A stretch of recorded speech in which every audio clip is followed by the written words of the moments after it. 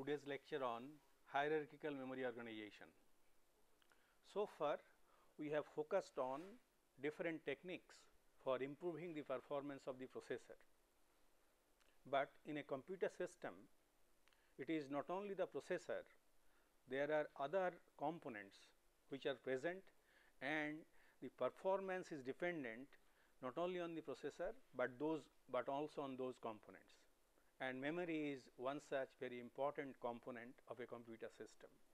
So, today uh, starting today we shall focus on uh, hierarchical memory organization which is a technique for improving the performance of the memory system.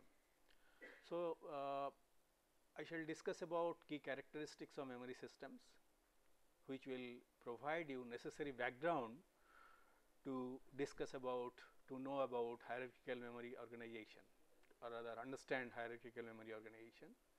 Then I shall particularly today start our discussion on cache memory which is uh, present nowadays present in almost all processors. Then discuss about various is basic issues in cache memory design like cache size, mapping functions, replacement algorithm, write policy, block number of caches, performance analysis and so on. So, these are the things I shall discuss maybe uh, it may not be possible to cover in one lecture, but we may cover in two lectures.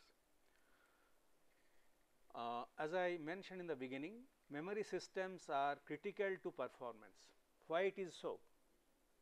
The reason for that is as we have seen the program and data are present in the memory, the CPU has to fetch it from the memory for the purpose of computation.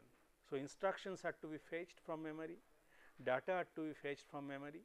So, uh, if the memory is very slow cannot provide the instruction and data at the same rate at which the processor is uh, processor is uh, computing, then the, uh, the then the, the, the execution of instructions cannot proceed. And that's the, that is the reason why memory systems are critical uh, to performance of the overall computer system. And as a consequence, computer designers have devoted a great deal of attention to develop sophisticated mechanisms to improve the performance of memory systems. So, many sophisticated techniques have been developed which I shall discuss in a couple of lectures to improve the performance of memory systems. And the, the most primary approach used to improve performance is hierarchical memory organization. So, this is the uh, key technique which has been used to improve the performance of the memory system and that is the reason why we shall discuss about it in more details. Now, you may be asking what is the basic idea behind this hierarchical memory organization. Actually, uh, it, it is based on the observation that programs exhibit temporal locality and spatial locality. What do you mean by temporal locality? By temporal locality, we mean that a piece of program which is being used now will be used in near future. That means that temporal locality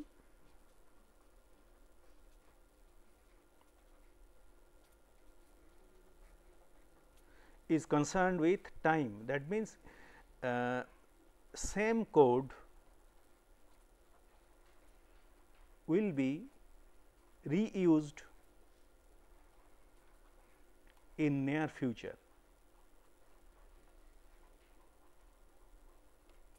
Near future means uh, uh, uh, recently it will be used. Then comes the uh, spatial locality spatial locality. What does it mean? Spatial locality means that as we know the programs or codes are stored in a memory. Now, spatial locality says that if you are executing a code on a part of a I mean from a particular memory location, the adjacent locations will be accessed uh, in near future. That means, the uh, the the memory will be accessed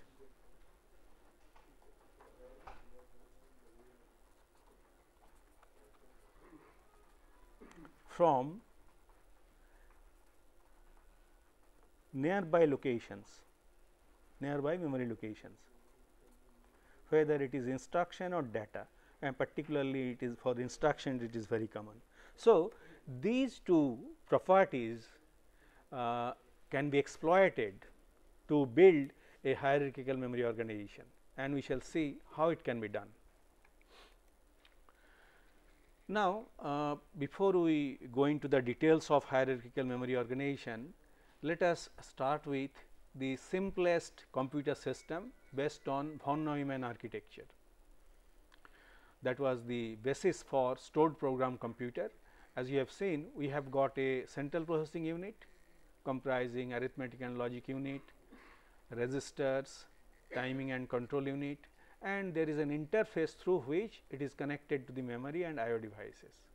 And this, this particular uh, uh, external bus through which it is connected is known as system bus. As you know address, address lines, data lines and uh, many control lines are used for the purpose of accessing memory and IO devices. So, you see uh, in general uh, we, we assume that your program and data is outside the CPU and it is residing in memory which are to be accessed through a uh, through a system bus and obviously it will be slower. Of course, this is the uh, von Neumann computer architecture and subsequently uh, uh, as we have incorporated different kinds of memory, uh, the architecture has changed and as we shall see how it has changed particularly to take care of hierarchical memory organization. So, let us have a look at the various, various characteristics or key characteristics of computer memory systems. First start with the location. Location means where uh, it is located, where the memory is located. It can be it can be say on chip. On chip means you know that nowadays uh, we know that CPU is implemented on a single chip. That means, the CPU on a chip is commonly referred to as microprocessor.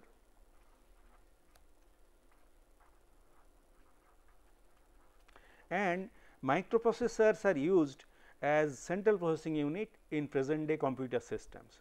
Now, since it is realized on a chip, some memory is present on chip and uh, uh, particularly as we have seen the registers apart from ALU arithmetic and logic unit registers which are a, which is a kind of memory is stored uh, on chip. So, uh, we can say that the first type of location where memory can be stored is on chip. So, one is on chip.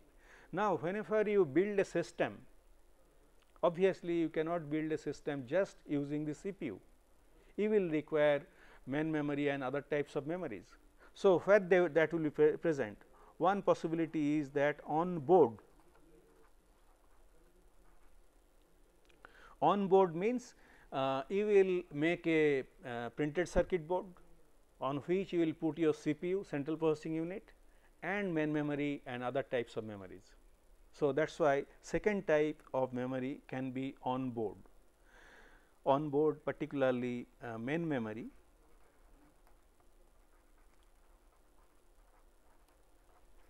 can be on board. Third type of memory which can be external. External means it is not on chip, it is not on the board, but outside. Outside means you have to connect it usually through through what is known as IO bus. For example, hard disk and other type of memories are external and uh, usually connected through IO bus. So, we can say uh, broadly there are three possible locations one is on chip, another is on board, another is external and obviously the, the, uh, the time required to access memory will be dependent where they are located. Second important characteristic is capacity. Capacity of a memory is specified usually in terms of bytes. There are possible there are uh, several approaches uh, capacity. Uh, capacity the uh, preferred uh, preferred unit for capacity can be number of words. Number of words, number of words that is present in a particular memory system. That means, uh, Uh, uh, the, that uh, for a 8 bit processor the word size can be 8 bit, for 16 bit processor the word size can be 16 bit, for 32 bit processors it can be 32 bit. So, based on the word size can be considered as the capacity in term I mean the in terms of the number of words the capacity is specified that means say 32 kilo words can be the capacity. However, uh, for the sake of generalization that means irrespective of the word size you can specify the capacity. For example, uh, just by the capacity you may not you may not you will not be able to uh, identify the exact size unless the word size is specified. So, just from this the 32 k uh, you cannot say uh, how many bits or bytes are present. That is why nowadays the common approach is to use uh, number of bytes as the units of capacity and you will see uh, we, um, subsequently we shall be always using the number of bytes as the capacity of a memory.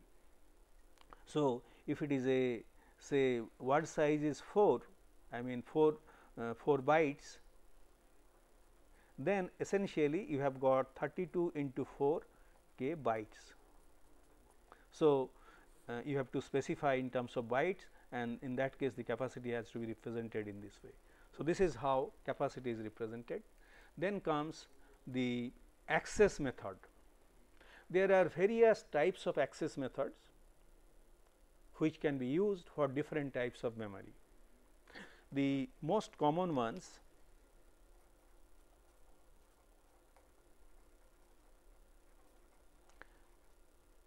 access methods. Number one is random access.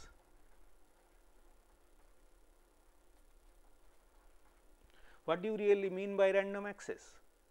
By random access we can mean that wherever the byte or word is present can be accessed you, uh, accessed uh, at the same time that means same time it will be requ required for accessing irrespective of its location. So, uh, for example, you have got memory which is linearly organized starting with location 0 0 0 0 to 1 1 I mean uh, 0 0 0 0 maybe in hex and this can be say FF FF in hex. So, this is the uh, uh, you have got 64 kilobytes of memory.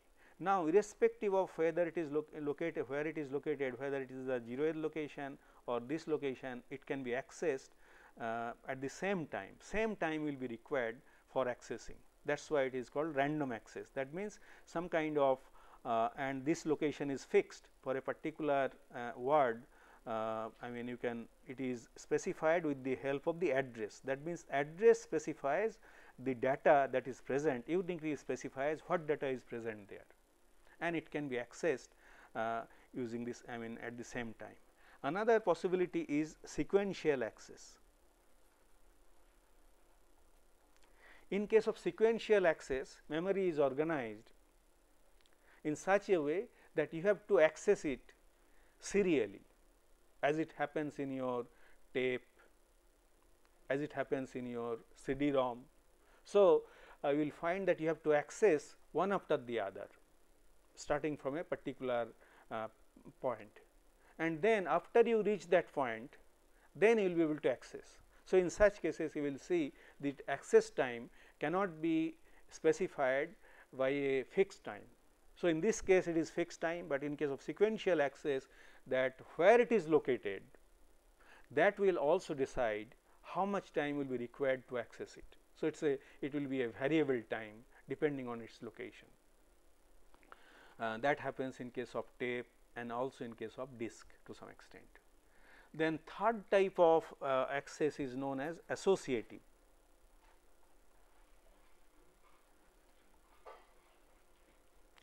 In case of random access we have seen for a given address it is the location is fixed the data where it is present is fixed.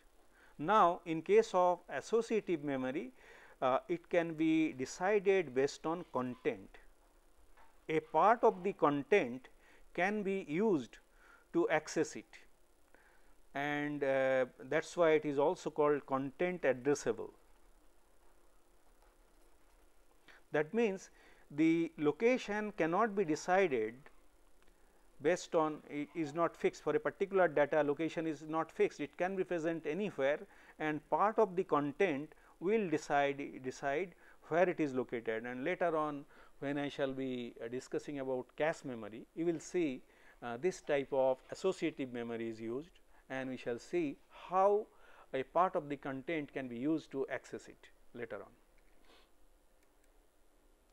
Then comes the performance.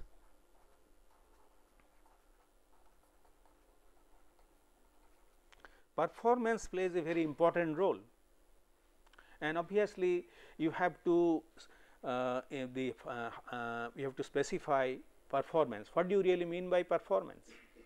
Performance means the CPU is trying to access either data or instruction from the memory.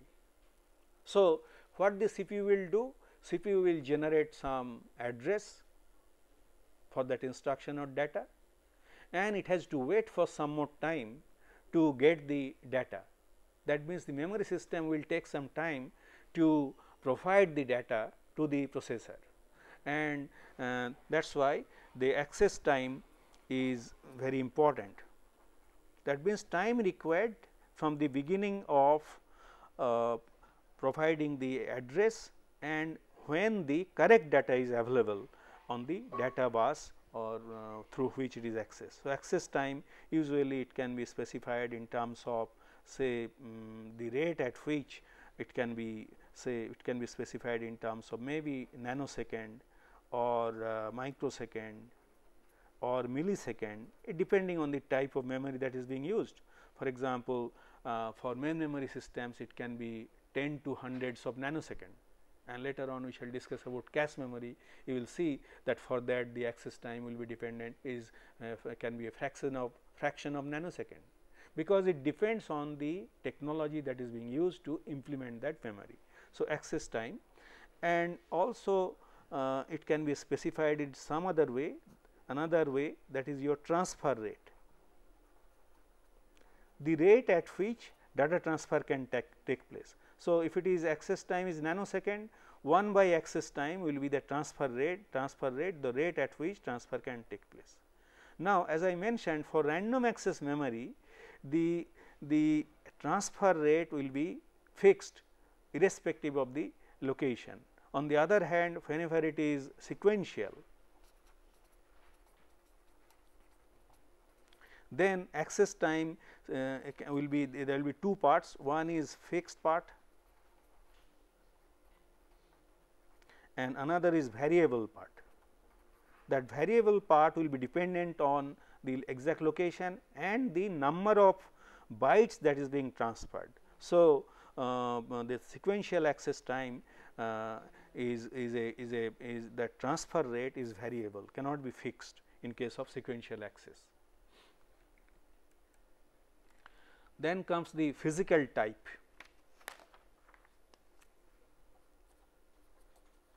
Physical type means how it is being realized. I mean the technology that is being used. As you know nowadays we use semiconductor memory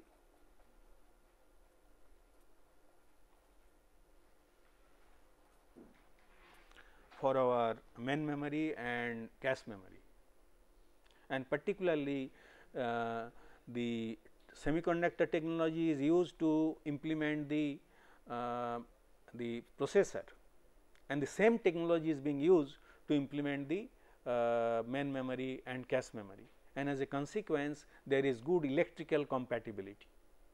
And uh, depending on uh, the technology that is the uh, realization it can be two types as you know. Uh, one can be static RAM another can be dynamic and depending on that the that access time or cycle time will be different and accordingly we shall use it for different purposes. So, semiconductor memory is very common uh, and that is used because of uh, their speed of operation. Another possibility is magnetic technique. For example, in hard disk magnetic tape the data is stored uh, with the help of magnetic technique. So, uh, the uh, that magnetic medium is used to store it and you have to you and uh, and uh, in such cases you will find that access time will be longer. And another technique that that is being used is optical optical technique that is used is in your CD-ROM.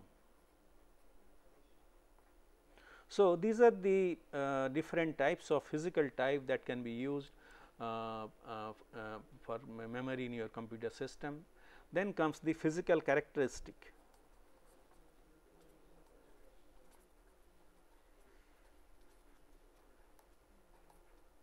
Physical characteristics means we have seen that we can use different types of memory and their characteristic can be different and particularly uh, it, it, it is usually classified into two, pi, two types. One is known as volatile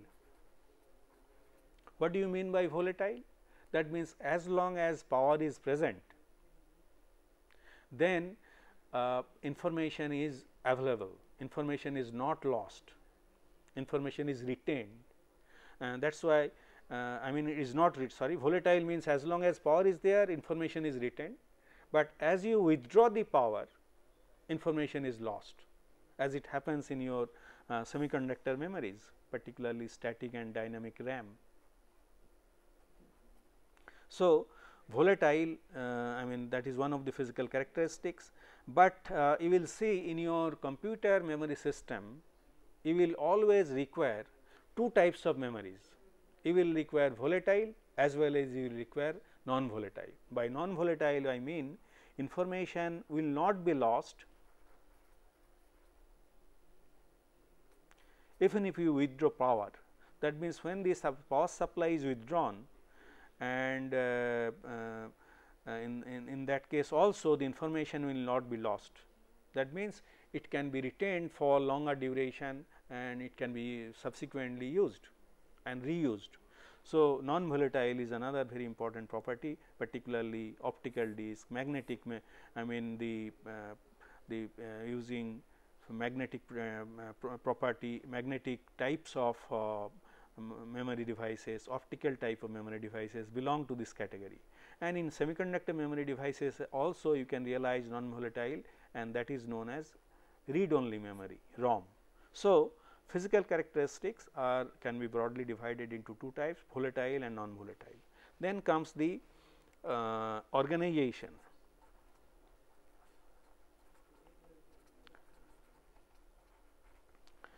So, let me specify the organization in terms of the, uh, the memory that is being used uh, particularly a semiconductor memory.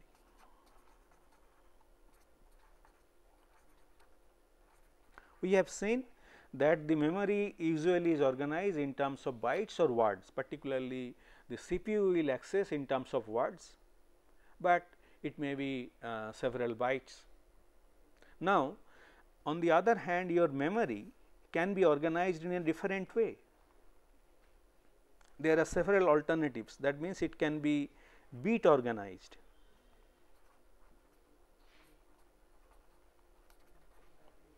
What do you mean by bit organized? That means you provide some address say m bit address is provided, m bit address is provided and inside this memory it is it is available in terms of bits that means it produces in terms of bits it may be usually it is bidirectional that means it is 1. So, you have got inside the chip 2 to the power m memory locations and each containing 1 bit. So, it is called bit organized. Now, whenever you have to realize a n bit memory system where n is the number of bits for the word, you have to access n bits in parallel. How will you do? You will be using several such memories, a number of such memories.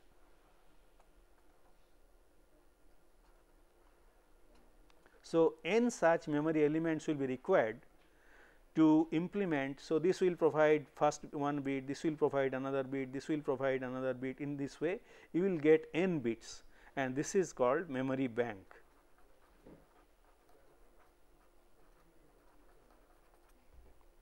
So, uh, if it is bit organized to realize n bits you will require uh, n, n chips to have uh, n bits simultaneously. Now, it is not uh, always necessary that the memory devices will be always bit organized. It can be byte organized,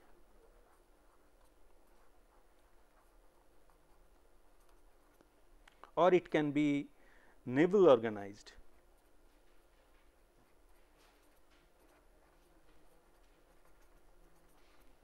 What is the difference between the bit organized and nibble organized? In case of uh, nibble organized, you will have you will have you can access 4 bits simultaneously. That means, it will have m addresses present and uh, inside it it is organized as 2 to the power m into 4 and as a consequence if you have to realize n bits of memory, you will require n by 4 such memory chips. That means, the number of uh, devices that you require uh, in your uh, computer systems will be n by 4 in parallel. So, here also you will require a memory bank, but number of devices that will be required will be lesser instead in uh, compared to uh, bit organized. Similarly, if it is byte organized, it can it, you will you will get 8 bits at a time and if the number of address lines is again m inside the chip it is organized as 2 to the power m into 8. So, you can all you will also require a memory bank uh, whenever it is byte organized and particularly for example, if the word size is 4 the 32 4 bytes or 32 bits you will require 4 such uh, memory chips to have 32 bits. So, it will give 8 bit, it will give 8 bit, it will give 8 bit and this will also give 8 bit. So, this way you will get 32 bit from uh, 8 uh, I mean 4 uh, memory chips. So, this is how memory banks are realized and in all modern computer systems you will find this is how the memory is organized.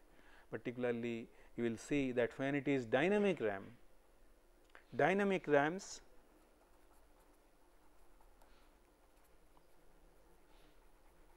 are usually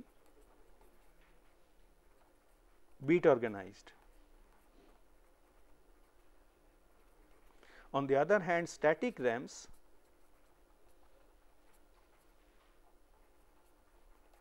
may be nibble organized or byte organized.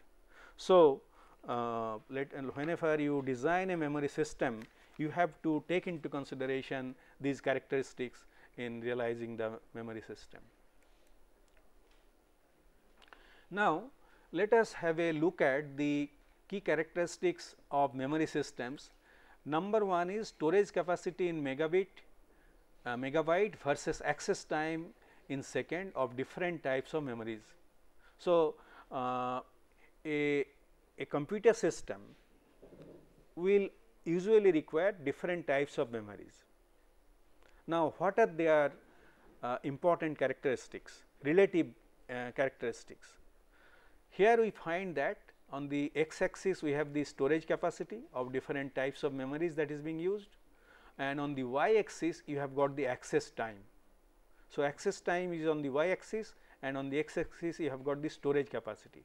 We find that uh, when the access time is very uh, small 10 to the power minus 7 second, then your capacity is very small. So, when the access time is I mean small or the, the other the when it is uh, speed is high then capacity is small. On the other hand uh, we can see as the access time is larger capacity is more hard disk will have larger capacity and magnetic device magnetic tapes and other things will have still larger capacity, but their access time is uh, very large. So, we find that larger the capacity slower is the device. This is a very key observation important observation and which will be used in implementing the hierarchical memory organization. That means, the larger the capacity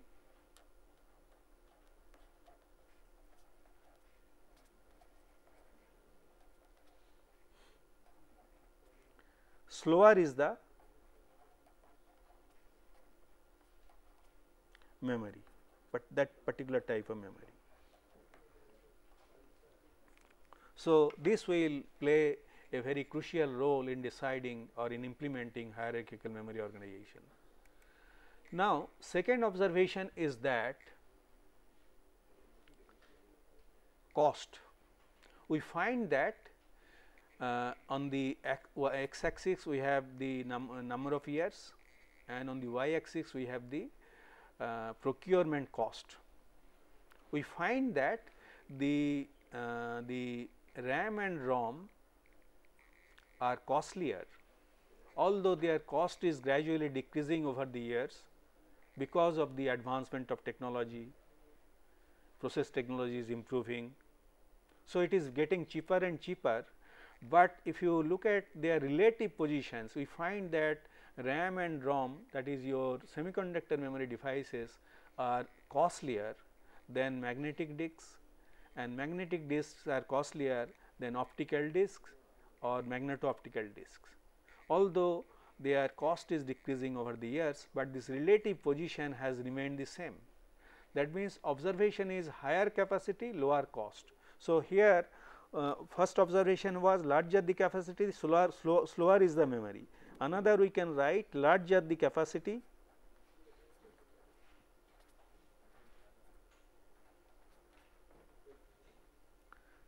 uh,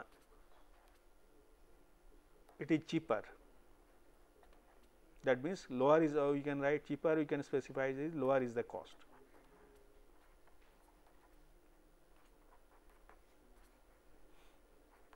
So, these two plays a very important role in implementing hierarchical memory organization. Another very important observation is you can see how the performance is changing over the years for processor and memory system. Here actually the memory by memory we mean that dynamic RAM. So, dynamic RAM has been used as the representative memory here and here is your processor uh, you can see the performance of the processor is improving rapidly compared to the memory systems. It is not that the memory the performance of the memory system is, system is not improving, but the improvement is very slow.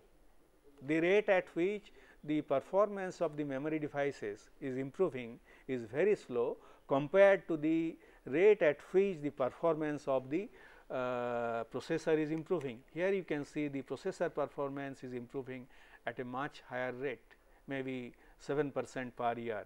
On the other hand uh, for uh, memory it may be uh, 0.07 percent per year. So, the rate of improvement is much lower for memory. What does it really mean?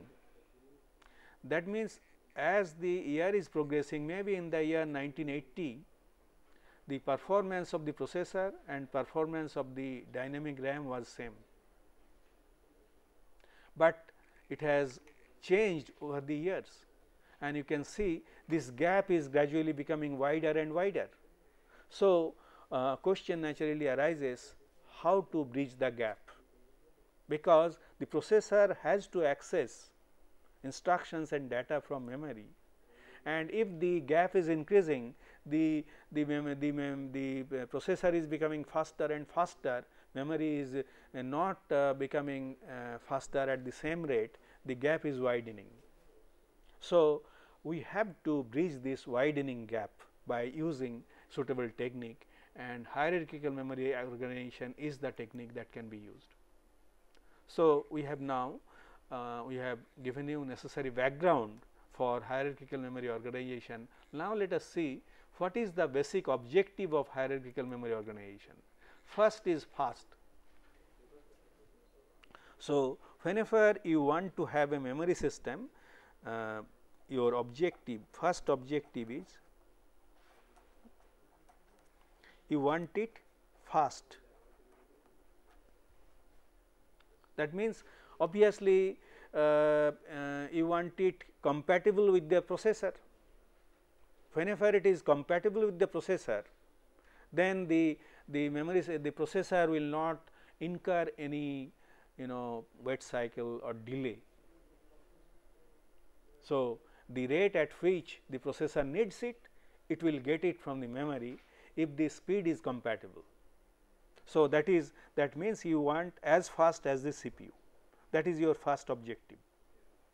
Second objective is large. So, fast means obviously uh, uh, we have seen you have got uh, different types of mem memory. So, fastest available memory.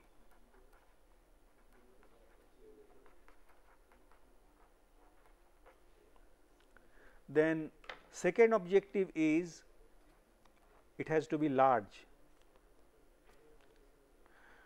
Obviously, this requirement is arising from the programmer's demand. As you know, uh, the size of the code is increasing over the years. The problems are becoming more and more complex. So, you will require more memory to store your program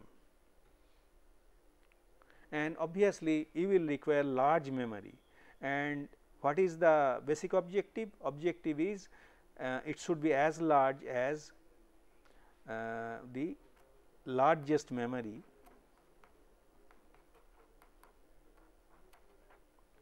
available. So, whenever we say fast, fast means that the its the speed should be as close as possible to the fastest memory. As we know the semiconductor memory devices are the fastest. So, the speed should be closer to the semiconductor memory devices. On the other hand, whenever we say large, we know that your secondary memory or backup memory magnetic tape has the largest capacity. So, capacity should be close to the uh, magnetic tape, but can we get these two together? That means, it should be fast it should be large. So, these two uh, we want together, but unfortunately as we have seen that fastest memory is the costliest and smallest sm smallest in size and largest memory is slower and cheaper. And last requirement is it has to be uh, we have to get it at an optimum cost.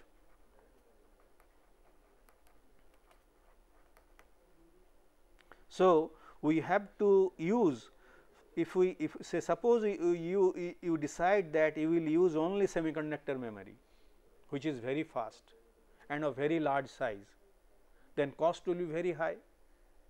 So, that will not serve your purpose. On the other hand if it is as large if you use, decide to use the uh, I mean largest memory then it will be slow it will not serve the purpose. That means, what we have to do we have to devise a mechanism such that speed will be closer to the fastest memory, size will be closer to the largest memory, cost will be optimum. Optimum means uh, it will not be very high.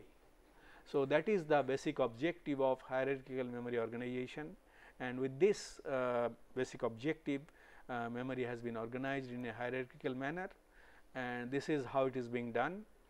Uh, say we have got we shall be using different types of memories. In the level 0 we shall be having registers, level 1 we shall be using cache memory and in uh, level 2 we shall be using main memory and level 3 secondary memory. So, as you can see we shall be we have I have shown here 4 different levels of memory and uh, now they are uh, the, the, the uh, 4 different memories can be organized since they are organized in a hierarchical manner you see how they are uh, parameters will be changing different parameters will be different for different types of memories. Number 1 is access time say here we have organized in a hierarchical manner. So, this is the 0th level, this is the first level, this is the second level, this is the third level, you may have fourth level. Now, if we consider it as the ith level, this is i minus 1th level and this is uh, i plus 1th level. So, we can say it this way. Now, what is the how the access time varies whenever you organize in this hierarchical manner. So, access time will vary in this way that time T i that is access time for the ith level uh, we have seen that this is fastest this is slowest. So, access time uh, this will be uh, this uh, that uh, if this is T i plus 1. So, this will be more that means that uh, access time will be more uh, as we go downwards access time is more uh, for for your larger memory size. So, we can state it in this way that means as we go towards uh, hierarchical memory uh, the access time will become more. Second is your cost per byte say C i. C uh, i minus say C uh, this is C i and this is C i plus 1. So, cost per byte of which one will be more or which one will be less, how the cost will be changing. We know that as we go down the cost is lower that means this cost for a lower level will be more per byte than the cost for higher level. So, C i is more than C i plus 1 or uh, what about the memory size?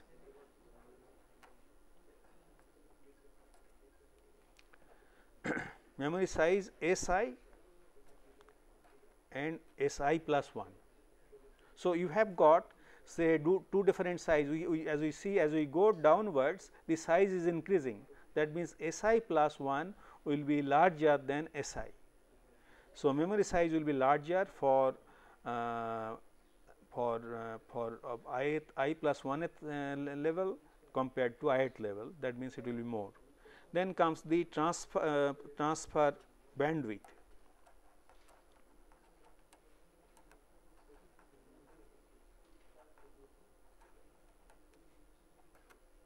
B i and B i plus 1.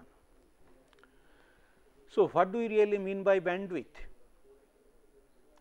Bandwidth means rate of transfer, the rate, rate at which transfer will take place. So, rate of transfer obviously will be more between these two levels or between these two tables or between these two tables. That means, the rate of transfer uh, will be uh, that uh, it will be uh, here it will be more compared to uh, b i plus 1. Then comes the unit of transfer.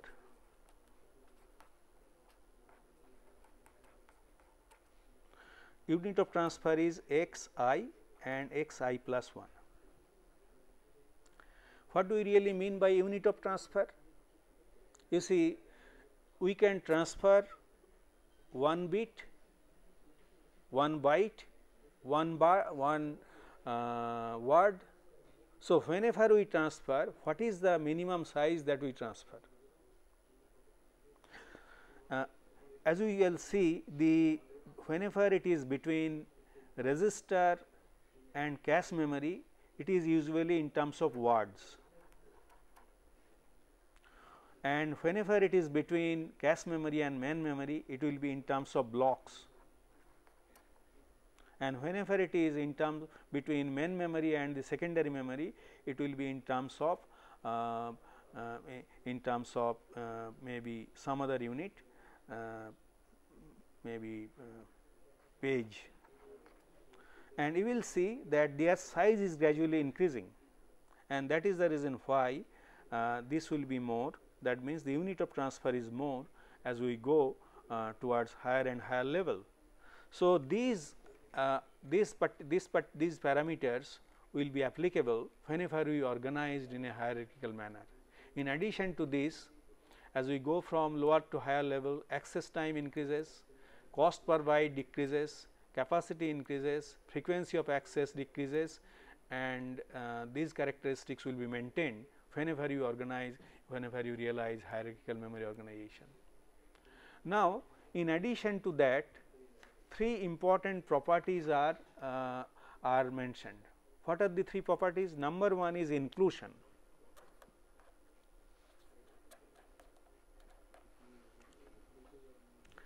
Say here you have got say registers. Let us assume this is your cache memory and here is your main memory.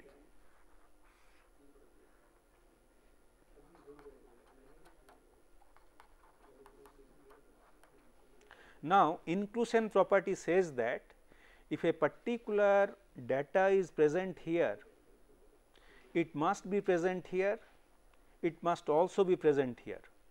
That means, there cannot be any data which is present at lower level is not present in higher level. This is the inclusion property. Inclusion property will guarantee that any data which you get in a lower level of memory has to be present in higher level. So, it can be specified as M i M 1 covers M 2 covers M 3. So, if you have got M levels this will be maintained. In other words that uh, a subset of data that is present in the main memory will be present in the cache memory and a subset of the of the data which is present in the cache memory will be present in the register. So, this is called the inclusion property which will be maintained uh, whenever you organize memory in, in a hierarchical manner. Then second is coherence.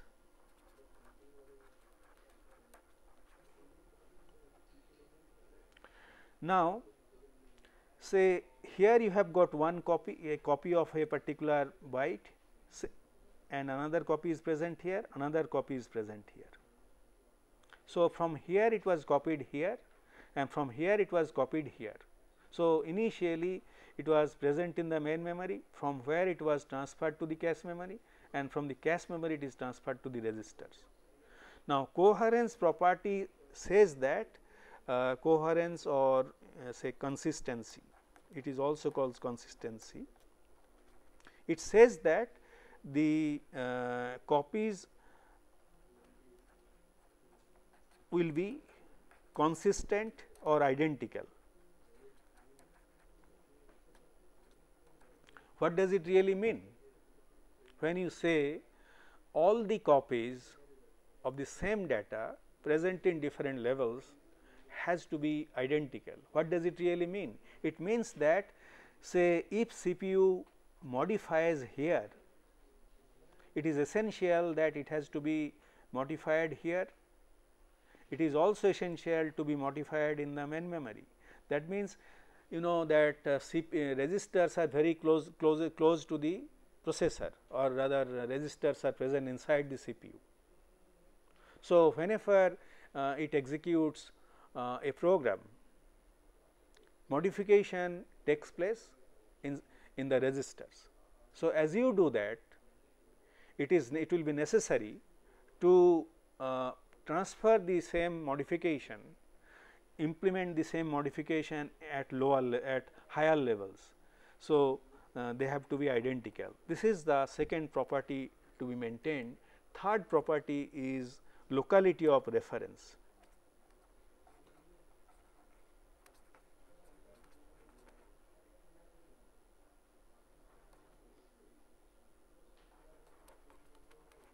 I have already told you about the locality of reference.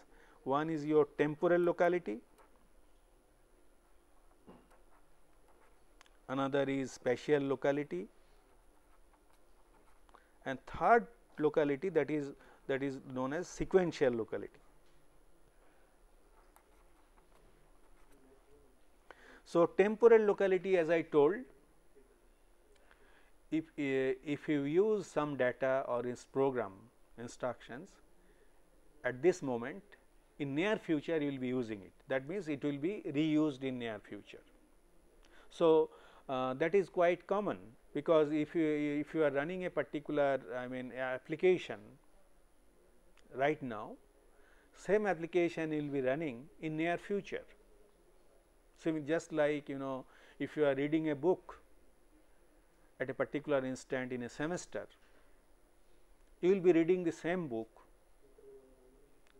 in near future. Second is your spatial locality that means some books some books which are related to the book that you are reading say computer organization book. Other books related to that you will be reading in near future.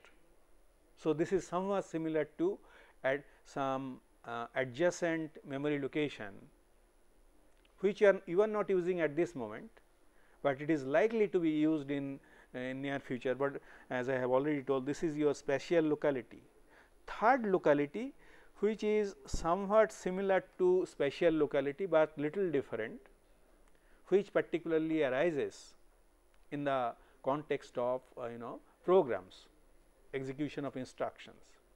So, we know that normally the a, a program what is a program a program is nothing but a sequence of instructions. Normally, the sequence of instructions are stored in contiguous memory locations. So, when you are executing a program, it is very likely that you will be executing uh, from you will be fetching instructions from sequential memory locations. On the other hand, that spatial locality is applicable to data and sequential uh, sequential locality is applicable to instructions that is present in the memory. However, whenever there are branches, subroutine calls, interrupts in such cases there will be it will not be uh, it will not be sequential. It will fetch from non sequential memory location. But most of the time you will be uh, doing uh, fetching from sequential memory locations. So uh, that means this locality of reference is being uh, is followed in memory access by the processors and which will be exploited in implementing uh, hierarchical memory organization.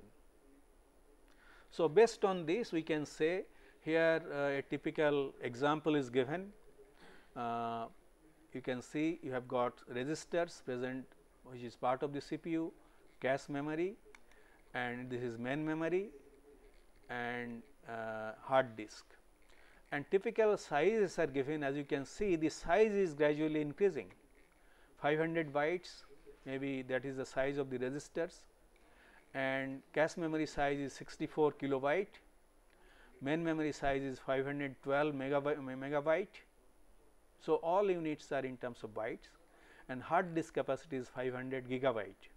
So, you can see that it is roughly about uh, 10 orders of magnitude.